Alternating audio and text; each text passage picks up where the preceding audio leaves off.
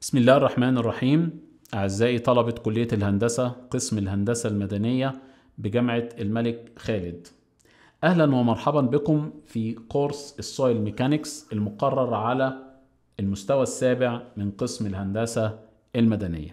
إن شاء الله النهاردة هنتكلم في chapter 5 اللي هو الـ shear strength of soil أو مقاومة القص للتربة. وعايزين في أول جزء أو الجزء الأولاني concept of strength of soil أو مفهوم مقاومة الإيه؟ التربة. بنقول when a soil is subjected to vertical and lateral stresses deformation in the different direction may occur. يعني إيه؟ يعني أنا عندي التربة اهيت عليها إجهاد كده وعليها إجهاد كده. فالتربة دي ممكن يعني تنهار كده ممكن تنهار كده أي بقى دايركشن براحتها يعني. دي نقطة مهمة. الـ pore water pressure and water content of the soil may also change يعني لما أجي ميه لما بعمل ضغط كده وضغط كده ممكن المية نفسها إيه؟ تتغير. when the stresses بقى لما الإجهادات ديت خلي بالك بقى من النقطة دي.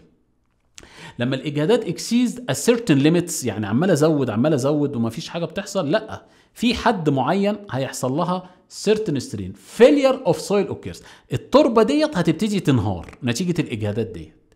This failure is usually characterized by movement of effective soil mass by slip along a certain plane which is called shear plane. يعني إيه؟ خلاص بقى وصلنا للمرحلة إن التربة دي اتزحلقت من هنا لهنا.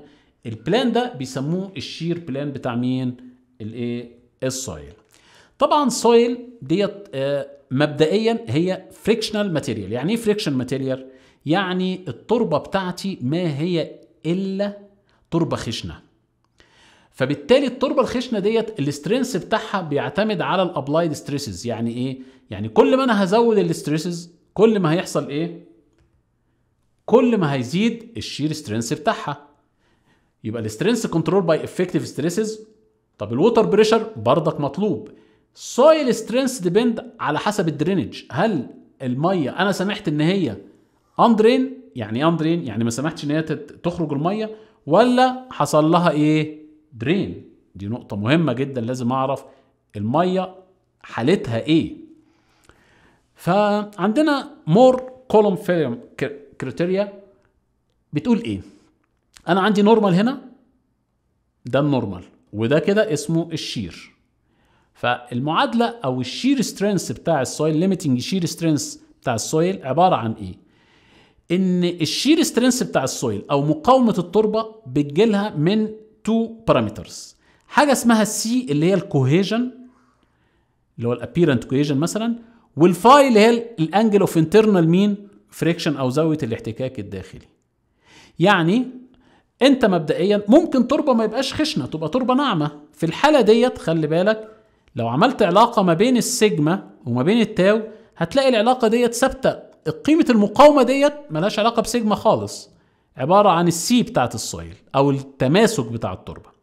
وممكن تلاقي تربة خشنة صافي ما فيهاش نعومة خالص ففي الحالة ما فيهاش تماسك. فبقت في الحالة ديت الزاوية ديت هي اسمها phi. أما مبدئيا الحالة العامة إن يبقى فيها مين؟ الاتنين زي ما أنت شايف. يعني ليها C وليها مين؟ phi. يبقى ال shear parameter بتوع ال soil ما هم إلا ال cohesion أو التماسك بتاع التربة مع بعضيها وال angle of internal friction